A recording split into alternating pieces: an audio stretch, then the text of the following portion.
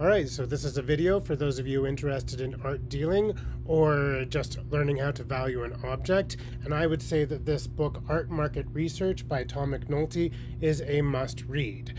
Uh, it was published in 2006. It's the second edition. And so, because of that uh, year of publication, it is a little outdated for the internet searches that you're going to be conducting. Uh, for example, he makes reference to what a good database uh, Google is if you're looking to search for information. Obviously, we know this. Uh, also, this uh, reference on page 100.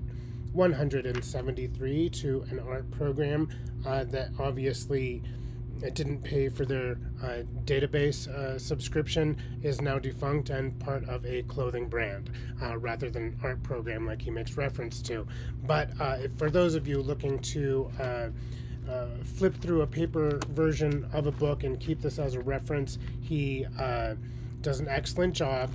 You know there's a good, a good two chapters of just sort of analogies and stories of uh, what it is to research the art market, and um, he, he's he's very interesting.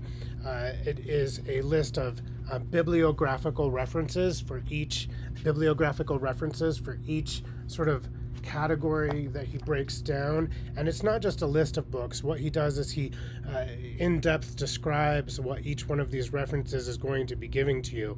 Uh, so i really liked that.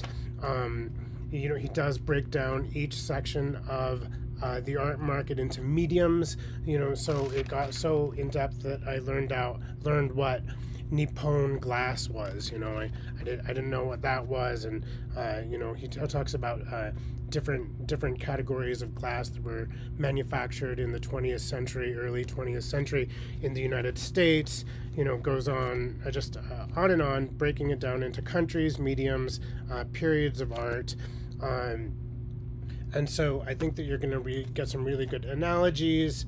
Uh, most of this stuff I think that you could find it on the internet, but he's he, he's compiled the the the book, and if he did, I I ordered it through interlibrary loan, uh, but if he did come out with a third edition and sort of updated the way that he talks about the internet searches, I do think I would purchase this and keep this on my shelf. So this is a good book. Hope you uh, good luck with your uh, art dealing uh, enterprises, and I will see you soon.